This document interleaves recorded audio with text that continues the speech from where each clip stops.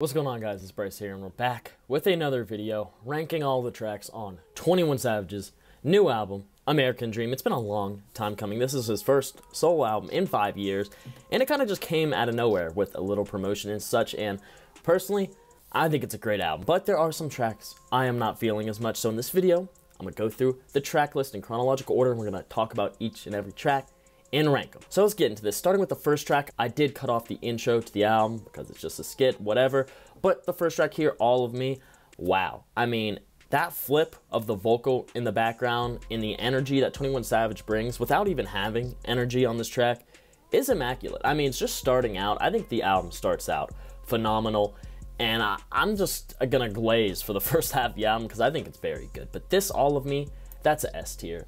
Next, we have Red Rum. Now, do I even have to speak about this track. This is by far the hardest track on the album. As far as like a banger goes, this is the track he put out to get the heads moving. And let me tell you, it definitely did because this shit is crazy. And that sample flip in the beginning is, I'm a sucker for stuff like that. This S tier, of course, and of course, called Red Rum. You have the Shining sample at the end. I don't know how he got that clear, but shout out to 21 Savage for that. That shit crazy. Next, we have NHIE featuring Doja Cat now. Not gonna lie, this is crazy. This is such a good track. I mean, Doja Cat fits so well on here. I wasn't sure how this collab was going to sound, but she was back on her rapping stuff, kind of like her most recent album, and let me tell you, it fit perfectly. It really did. This is another S tier. I don't care. I don't care. It's that hard. Next, we have Sneaky. Now, this is a banger.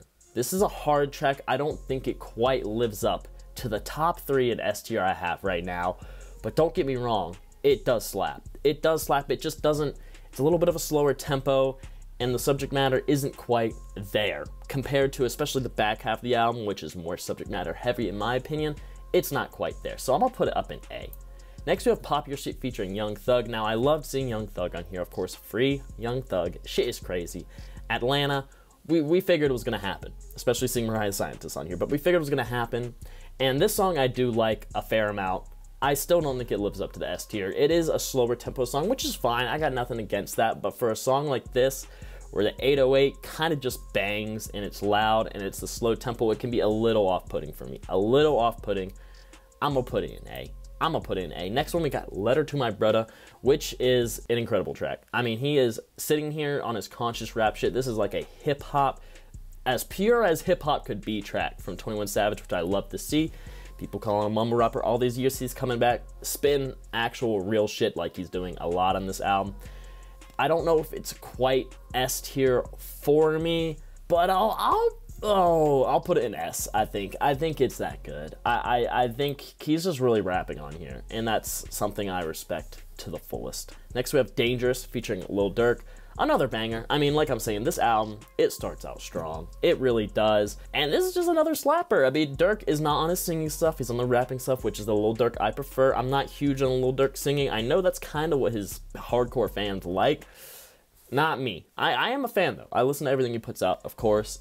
This one, I'm feeling A on it, too. I know. I'm feeling A on it. I told you I was going to glaze the first half of the album. I told you I was going to. Next, we have Née-Nah featuring Travis Scott. This is probably my favorite song in the album. Travis Scott with incredible performance, the low auto tune, the rapping going in. This is the type of Travis Scott I love. It really is. And 21 complimented it perfectly the way it builds up with Travis coming in and progressing the song. It's so good, man. S tier. Instant S tier. Come on. Next we have See the Real, which is a little more of a upbeat, happy feeling track, which I did like to see on here. And it's definitely groovy. It definitely gets you in the mood. I don't know if it's quite touching me like some of these other tracks though. I'm gonna keep it all the way real, but I do enjoy it. I'm gonna put it in B, I think. That's how I'm feeling. Next we have Prove It featuring Summer Walker. Now Summer Walker has been killing all her performances. I mean, I don't think I've heard a bad Summer Walker performance in my life. Granted, I don't listen to her that much. I've just heard her most recent album and her recent features, especially on Kendrick Lamar's album, but seeing her on here was dope to see, and she killed it.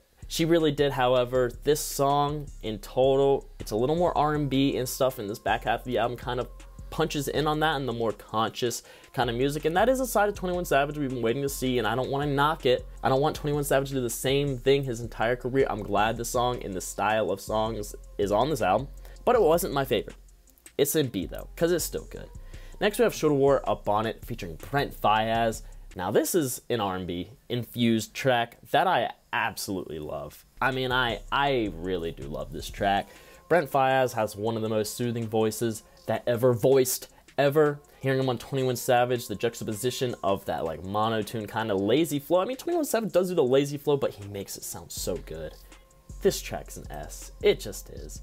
It just is. Next we have Just Like Me, featuring Burna Boy. Now, I am a Burna Boy fan.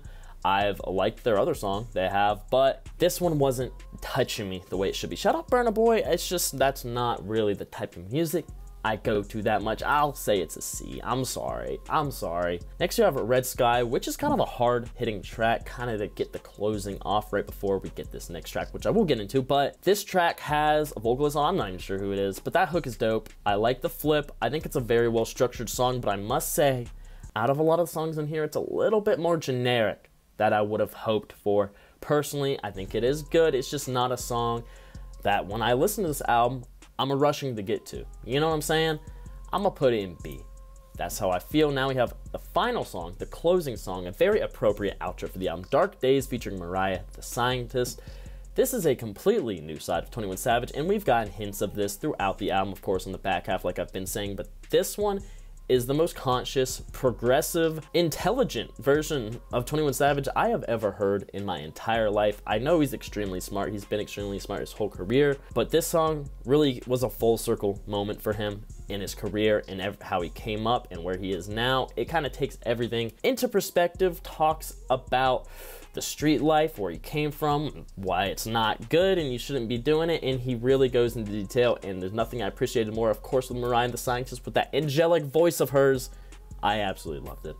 S tier. Perfect outro for the album. Perfect outro for the album. Now, that is the tier list. Looking at this, I don't have no problems with this. This was a good album. It was so good. I mean, it's already my favorite album of the year. I mean, not like there's a lot of competition. Boldy James had a really good album, though, I will say. But that's how I'm feeling on it. If you guys want to make your own tier list, there's a link in the description to it. Make it, tweet it at me, show me what you guys got, put in the comments down below, all that. But if you guys enjoyed watching, make sure you like, subscribe, with the bell so you don't miss out on videos, updates, anything like that. Go in the description, follow my TikTok, my Spotify, my Twitter, my Instagram, get that weekly updating new music for playlist, and join my Discord down there too. And yeah, it's been Bryce. Peace.